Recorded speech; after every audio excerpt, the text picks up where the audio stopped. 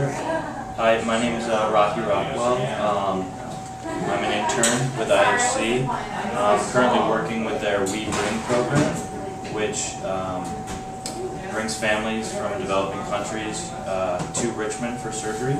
So what I'm really doing right now is uh, assisting with the families um, when they arrive, driving them to their appointments, um, just really helping them get adjusted to the uh, to the U.S. because it's a pretty big adjustment for them. And I'm also uh, just helping out in the office with with anything they need. So kind of split my time between the office and um, working with the families. Um, so where did you attend school?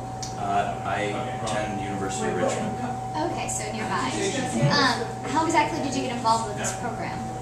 Well, I heard about uh, this program through uh, a few of my friends who had volunteered, and they really loved it and had a great experience. So it's something I really wanted to get involved in. So are you thinking about staying with it after you, your internship is done?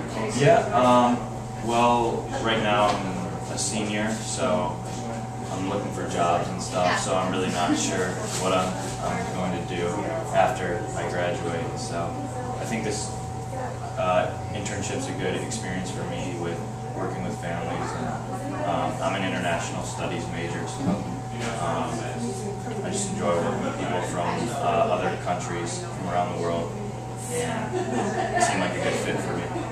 Great. Well, thank you very much for your time. Yep. And now you guys know what you could do if you ever get in college and you find out that you want to work with programs like this. You can do internships with these type of programs. So thank you very much. Thank you.